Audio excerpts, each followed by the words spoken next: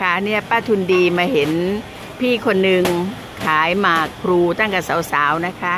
ดูสิตอนนี้อายุ 92 ยังสวยๆอยู่เลยอะ่ะสุขภาพก็ดีด้วยนะคะ น่าชื่นชมมากเลย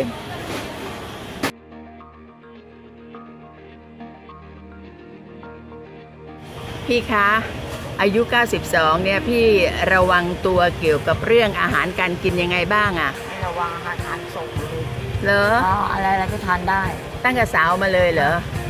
แล้วอะไรทานของเลือกอะไรบ้างที่ชอบอะชอบชอบชอบแกงอะไรนะ ชอบแกงแกง แกงอะแกงพะแนงอะไรพวกนี้ชอบทานหมดเลยกะทิอะไรก็ทานทานเนี่ยแล้วผักน้ำพริกอะไรพวกเนี้ย ชอบอะ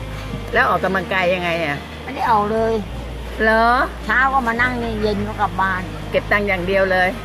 นี่ขายมากี่ปีแล้วอะขายได้อายุสิบแปดนะคะ ตอนนี้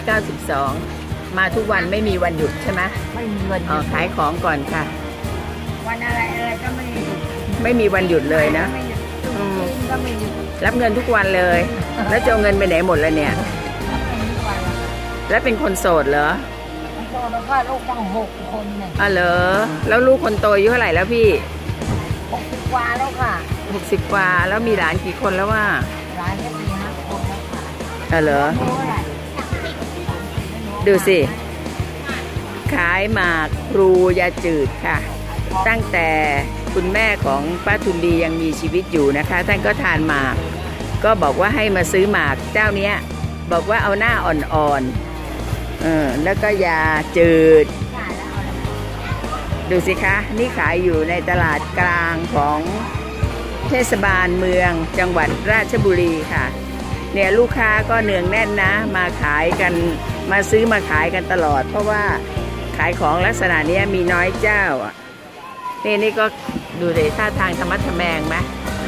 92อะไม่อยากจะเชื่อว่าจะแข็งแรงได้ขนาดนี้ดูสิ ผิวพรรณหน้าตาดีดีๆทำบุญมาดีแน่เลย น้องเป็นลูกค้าประจำร้านนี้เหรอคะเนี่ยพี่ซื้อมาตั้งสาวๆเนี่ยตั้งแต่ ซื้อให้แม่รับประทานอะ จนแม่ก็ไปแล้วอะ คนขายยังอยู่อะไรนะจ้ะพี่สู้มันสู้นะเอ่อให้อายุยืนยาวสุขภาพดีนะจ๊ะอ่าสัมพรปานนะคะพี่ชื่ออะไรอะอ่าพี่ชื่ออะไรพี่พันพิมพ์อะพันพิมพ์ ชื่อเพราะจังเลยบ้านอยู่ตรงไหน บ้านอยู่ที่ตรงรถทัวร์เนี่ย อ้าวเหรอรถทัวร์หมายถึงไม่ใช่อู่รถทัวร์ใช่ไหมตรงจอดรถหน้านำสินตรงตรงหน้านำสินหน้าโรงแรมนำสินจ้ะพี่ให้สุขภาพดีนะจ๊ะค่ะค่ะป้าค่ะค่ะขอบคุณที่ติดตามป้าทุนดีมีเรื่องเยอะค่ะอย่าลืม กดไลค์แชร์ติดตามให้ป้าด้วยนะคะอันก็คงไม่ต้องนะคะไม่ต้องหรอกค่ะ